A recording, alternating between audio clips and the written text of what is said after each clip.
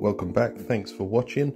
My name is Dr. Jeff, Director of Ear Care Specialists. Uh, so, this patient attended having been referred from um, and by a local high street audiologist who couldn't get the wax out of the patient's ear. Their ear canals were too narrow uh, and the wax was just very impacted. So, uh, I saw the patient. Um, now, they actually had symptoms of jaw pain, neck pain, earache.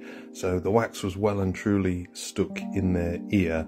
Um, but luckily, after a few drops of oil um, and some shimmying around, we managed to get it out of their ear relatively easy. Actually, um, it helped being able to see with higher magnification under the microscope, which, if you were using a typical head loupe, uh, you just simply wouldn't be able to see as well. Um, you see the colour change here of the wax um, as we use some sodium bicarb drops uh, as an intermediate within the appointment just to try and help soften and get things wiggling and moving about.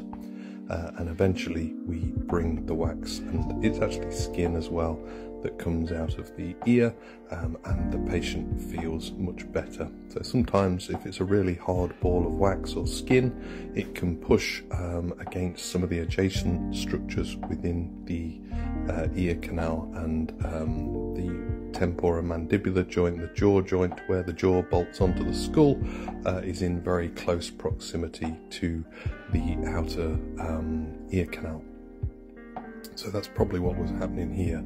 Um, if the patient's jaw pain persisted beyond the removal of the wax, then they would be advised to go and see an ENT consultant.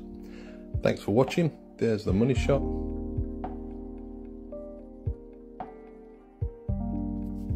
And then we're just going back in for a final check of the ear, um, which I sometimes show on these videos, sometimes I don't. Um, I do like to go in with a video otoscope, so different type of camera, just to have a good look around afterwards as well.